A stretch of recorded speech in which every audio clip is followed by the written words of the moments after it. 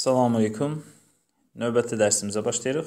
Bu dərsdə inşallah mən xassə anlayışına toxunacağam. Maddənin xassəsi.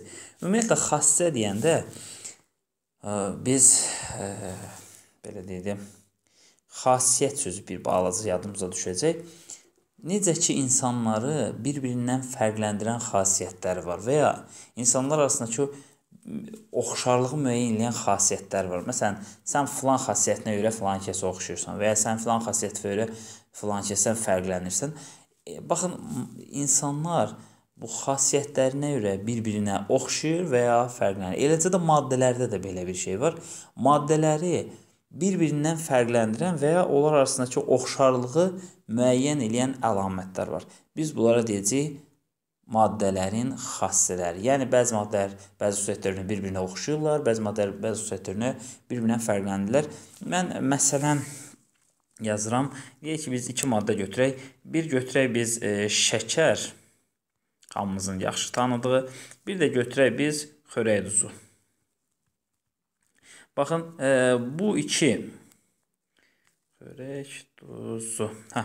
E, bu iki maddənin arasında bir çox oxşar və fərqli xüsusiyyətlər var. Məsələn, e, baxın, birinci xüsusiyyətinə baxaq. Bunların hər ikisi ağ rənglidir. Sonra ikinci xüsusiyyəti. Bunların hər ikisi suda yaxşı həll olurlar.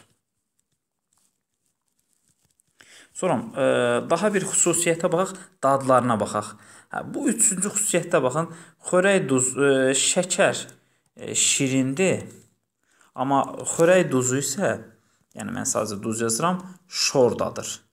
Hə, belə çıxır ki, e, bu iki maddə bəzi xüsusiyyətləri bir-birinə oxşadır. Yəni rəngi və suda həll olması qabiliyyətinə bir-birinə oxşadır. Amma dadına görə bir-birindən fərqləndir. Yəni bu xüsusiyyətinə görə bir-birindən fərqləndir. Deməli belə çıxır ki, maddələr e, maddələri bir-birinə bənzədən və ya onlar arasındakı fərqləri müəyyən edən əlamətlər varmış. Baxın, bunlar insanlarda olduğu kimi adlanacaq xassələr, yəni xasiyyətlər belə ki, o dildə desək, o zaman biz maddələri bir-birindən fərqləndirən və ya aralarındakı oxşarlığı müəyyən edən əlamətlərə maddənin xassələri deyilir tərifinə nəzər yetirək. Xassə özü iki cür olacaq: e, fiziki və kimyəvi xassələr. İndi gəlin aydınlaşdıraq ki, e, fiziki xassələr nədir, kimyəvi xassələr nədir? Amma möhkəmlənmək üçün tərifi bir daha deyək. Maddələri bir-birindən fərqləndirən və ya aralarındakı oxşarlığı müəyyən edən əlamətlərə maddələrin xassələri deyilir. E, gəlin görək e, fiziki xassə nədir? E, sonra da inşallah kimyəvi xassəyə baxasıyıq. E, fiziki xassə nədir? E, bir neçə şey var ki, bunları inşallah biz əzbərləməliyik və yeri gələndə biz bunlara Allahın köməyi ilə müraciət eləyəcəyik. E, fiziki xassələr nədir? Maddənin aqreqat halı. Yəni aqreqat hal deyəndə kobul dedilsək, yəni e, maddənin belə deyək də, e, bu maddə e, bərkdirmi? Sonra bu maddə maye haldadırmı?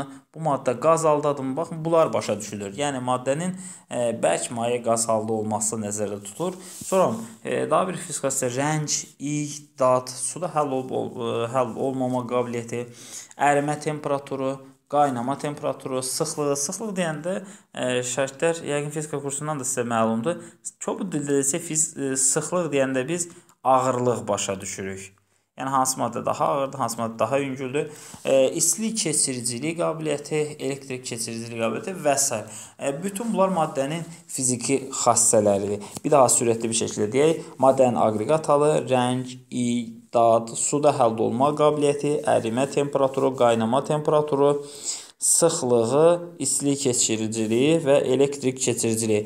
Bütün bunlar maddənin fiziki xassələridir.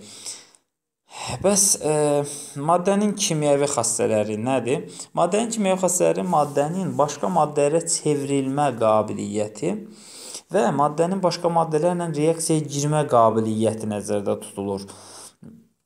Biz inşallah e, bir neçə misalın üzərində bu nə deməkdir, nə anlama gəlir, onları sizinlə aydınlaşdıracağıq. Gəlin misallarımıza baxaq. E, misallarımızı bir yerdə həll eləyək və sonra yəqin ki, bizə bir çox şeylər aydın olacaq.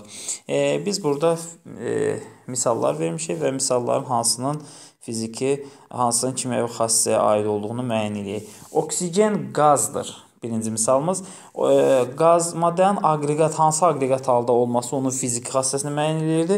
Ona görə də birincisi fiziki xassədir. Litium su ilə reaksiyaya girir. Maddənin başqa maddələrlə qarşılıqlı təsirdə olması və ya başqa maddələrlə reaksiyaya girmə qabiliyyəti, e, başqa maddələrə çevrilmə qabiliyyəti onun kimyəvi xassəsidir. Deməli 2 də kimyəvi xassədən söhbət gedəcək.